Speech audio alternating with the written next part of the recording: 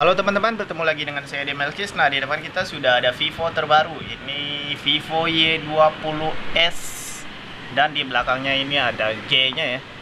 Sebelumnya sudah pernah keluar itu ada Vivo Y20 dan Y20s dan ini keluarin lagi Vivo Y20s G. Hanya ditambah G-nya ya. Nah, untuk harganya sendiri ini handphone dibanderol dengan harga 2599. Oke, kita ke bagian boxnya dulu. Bagian boxnya ini sama aja dengan Vivo sebelumnya ya. Di bagian sebelah kiri atasnya ini ada lambang Vivo. Di bagian sebelah kanan atasnya ini ada tulisan RAM 4GB dengan internal storage-nya itu 128GB. Kita ke bagian sebelah kanan kirinya sama aja ya. Ada tulisan Vivo Y20SG.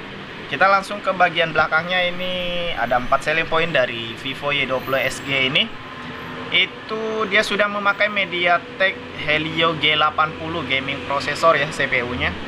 Dan untuk kapasitas baterainya sendiri udah cukup besar juga 5000 mAh. Untuk casnya sendiri dia sudah memakai 18 watt fast charging. Dan tidak ketinggalan dia memakai side fingerprint. Oke, yang kita dapat di sini warna puris blue dan ada satu warna lagi itu obsidian black ya, warna hitam. Oke, kita langsung ke bagian dalamnya. Ini pertama-tama kita ada dapat kertas gini nih. Di dalamnya ada isi di sini ada SIM injektornya. Ini ada buku panduan dan kartu garansi. Nah, ini ada kertas IMEI dan ini ada silikonnya ya, jelly case-nya juga sudah dapat. Oke, kita ke bagian dalamnya lagi. Di sini kita dapat unit dari Vivo Y20 SG ini. Dan di bagian dalamnya ini ada penahannya lagi kertas putih gitu. Nah, di sini kita lihat ini kepala chargernya dia sudah memakai 9 volt 2 ampere 18 watt ya. Jadi emang udah fast charging. Dan untuk casannya sendiri dia memakai kabel data micro USB ya sayang sekali masih micro USB sebelumnya itu ada Vivo Y30 dan Y30i dia sudah memakai micro Type C ya. Jadi sudah memakai cas Type C. Yang ini malahan micro USB oke kita rapikan dulu. Sep. kita rapikan dulu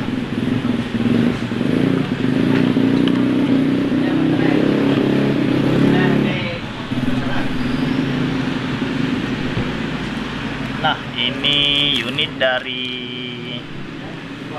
Vivo Y20 SG ini ya.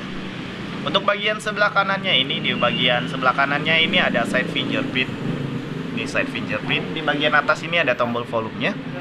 Kita ke bagian atasnya lagi ini kosong tidak ada apa-apa dan kita ke bagian sebelah kirinya ini dia ada SIM tray-nya dia sudah memakai du dual SIM card nano dan bisa ditambah memory card ya dan kita ke bagian bawahnya di sini ada jack audio.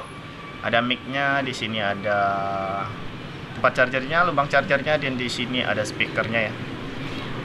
Kita ke bagian belakangnya dia memakai triple kamera triple kamera belakang. Oke kita tes nyalain handphonenya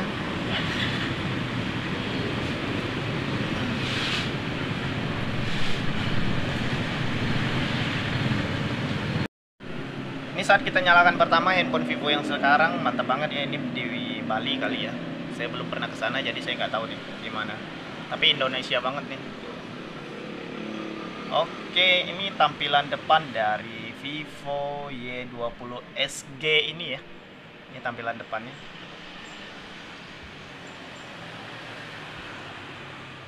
Kita langsung cek pengaturan aja ini handphone demo ya tuh jadi ini handphone contoh. Tentang ponsel ada nama perangkat Y20s ada G nya untuk RAM nya sendiri 4GB internal storage nya 128GB di sini dia memakai prosesor 2 GHz octa-core dengan versi Phantos OS itu Phantos OS 11 dan tidak ketinggalan pasti dia sudah memakai versi Android 11 versi Android 11 jadi udah versi terbaru tapi di harga cukup murah ya 2,5 jutaan aja.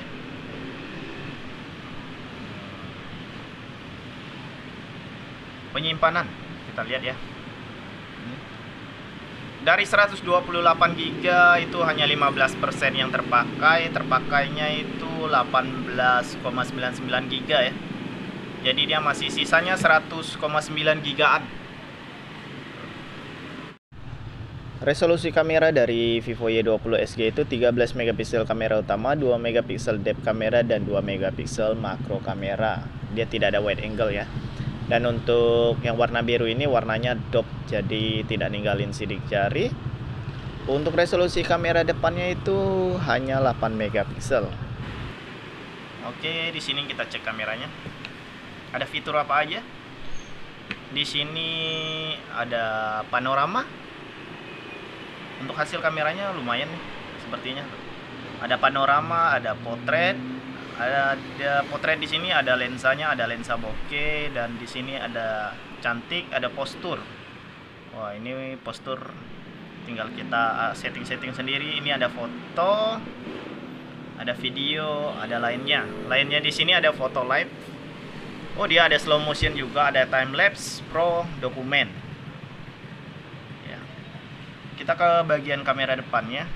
Ke bagian kamera depannya ini foto. Lensa bokeh foto video lainnya. Sama ya? Sama kita ke bagian belakang. Kita lihat hasil untuk videonya. Video. Kita lihat resolusinya 1080 pixel ya. Ini untuk resolusinya. Ini bisa dibilang ini handphone Vivo pertama yang nggak pertama juga ya ini di handphone pertama yang harga 2 jutaan yang sudah memakai prosesor gaming. Untuk layarnya sendiri Vivo Y20 SG memakai layar Ultra All Screen 6,51 inch dengan resolusi 1600 x 720 SD dengan panel layar IPS jadi bisa dibilang layar ultra screen ini downgrade dari Vivo sebelumnya yaitu Vivo Y30 dan Y30i yang sudah memakai layar pansol. Dan untuk skoran tutunya sendiri mencapai 18.613. Jadi cocok untuk bermain game ya. Jadi game-game berat nih. Mantap handphonenya. Mungkin sekian dulu tentang unboxing dari Vivo Y20 SG ini. Sekian dan terima kasih